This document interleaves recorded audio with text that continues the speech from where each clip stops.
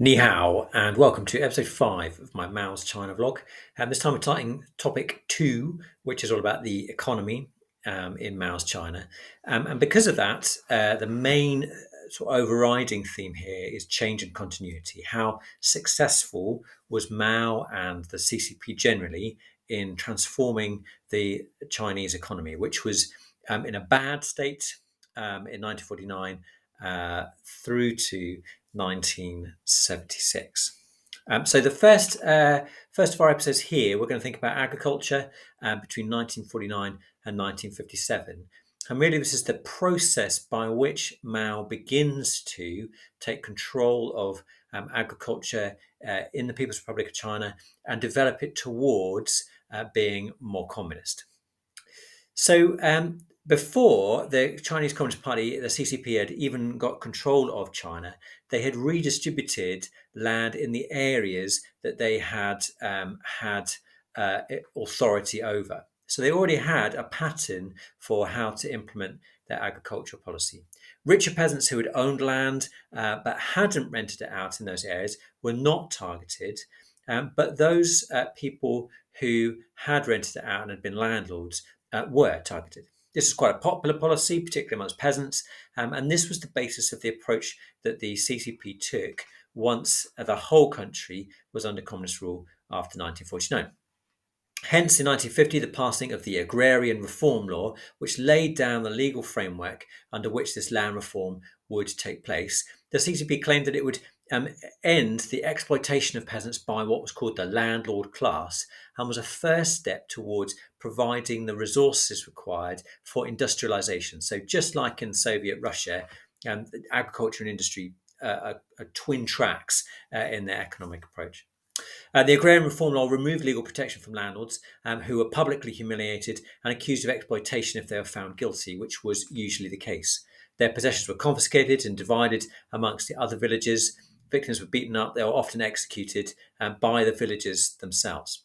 Such that by the end of 1951, 10 million landlords had lost their land and 1 to 2 million landlords had lost their lives. About 40% of land in China had changed hands in that time. By the summer of 1952, 43% of land um, had been distributed to 60% of the population. Remember, this is land being taken away from uh, private landlords and being given to those people who before hadn't owned land but had had to rent it off of them. Um, this was coupled, this redistribution was coupled with, uh, between 1950 and 52, um, agricultural production increasing 15% uh, each year. But this attack on landlordism was only the first step of reform in the countryside. The Communist Party wanted to go further than that to install uh, or create, mould a communist society, and therefore implemented a, uh, steps, stages, um, several policies to move China towards collectivization. Collective farms, of course, what we're talking about there are farms that are managed by the state, which takes over the ownership of land. There's no more private land um, and equipment and supplies the peasants with food and accommodation in return for their labor. So they're kind of like turning agriculture into um, the pattern that you might see in industry. Mao had seen how this process had worked in the 1930s under Stalin, but he had seen that actually the um, the speed at which Stalin had tried to do things had created a lot of uh, dislocation in the Soviet Union. And so Mao said this must be a more gradual process in China, which might take 15 years and we'll kind of take it step by step. So the first step in 1951 was to introduce mutual aid teams. This is where um, groups of around 10 or so families were encouraged to form MATs, mutual aid teams. Uh, they could pool their labour, their animals, and their equipment, but they retained the right of private ownership.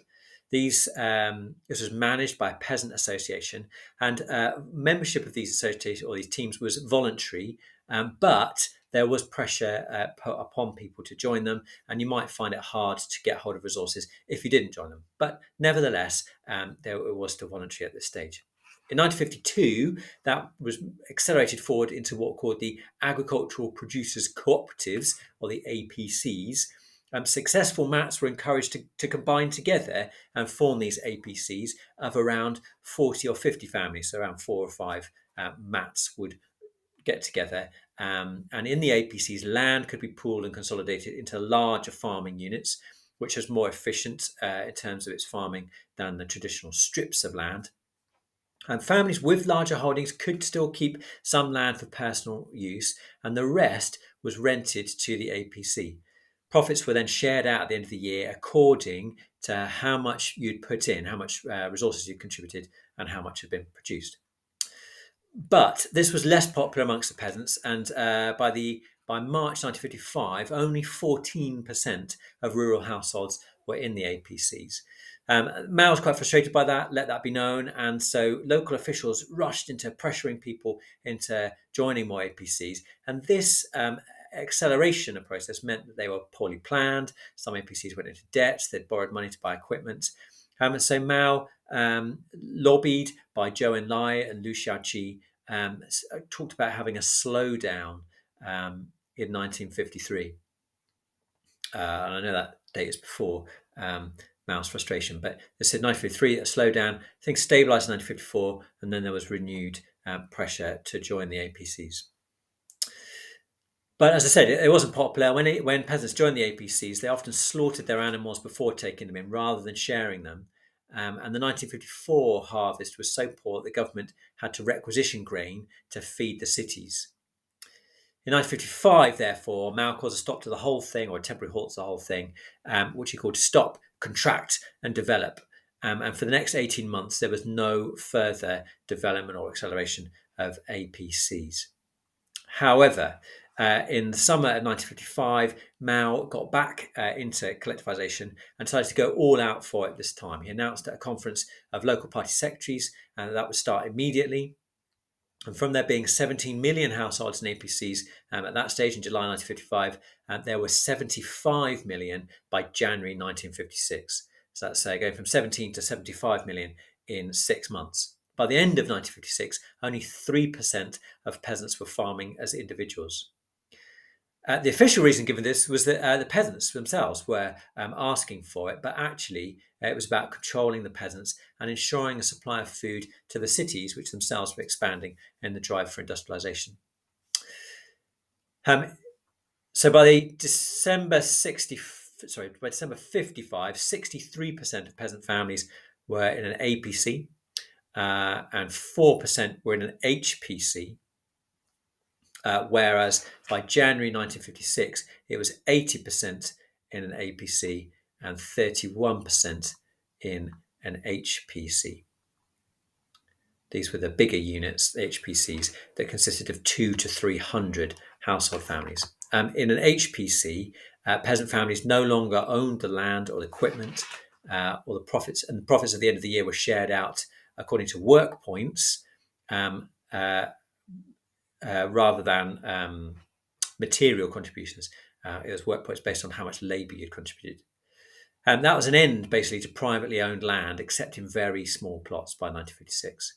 Um, peasants joined these cooperatives because they were under massive pressure from the party, but also for financial reasons. Because the banks had been nationalised in 1949, they wouldn't lend money to uh, any individual peasants or smaller cooperatives who stayed outside of them. Ideologically, this was a tremendous success for Mao. Um, and if you think about um, success or failure, it's an ideological success, success, ideological success without any doubt. Uh, the state now owns the, the means of production by the mid 50s and the land on which 90% uh, of the population are living. And the process of carrying out these changes also increased local party control and demonstrated Mao's ability um, to get things done uh, as leader of, of China, even against um, opposition of, of people within the party like Zhou Enlai and Liu Shaoqi, who I mentioned earlier. It also uh, changed the relationship of peasants to the Communist Party. The peasants had kind of been the engines of, uh, of the revolution and the civil war and great allies of the Communist Party, but now they're seen as servants of the party and servants of China um, rather than comrades. Uh, I'd say also the speed at which these changes happen in the mid 50s um, adds uh, or makes Mao dangerously overconfident, and that's what you see the problems coming in the second uh, five year plan, the Great Leap Forward, which we'll look at later on.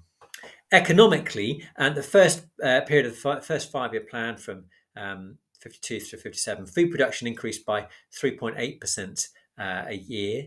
Um, this was uh, not enough to sustain the growing industrial workforce, which was expanding even quicker. Um, and the problem seems to be that, that yields per hectare, um, which is a great agricultural phrase, yields per hectare were quite high, but labour productivity was low, and crucially, the amount of land being cultivated per head of the population was also low. The situation was also worsened by a lack of state investment in agriculture, um, and probably the fact that the peasants no longer benefited uh, from the work that they put in.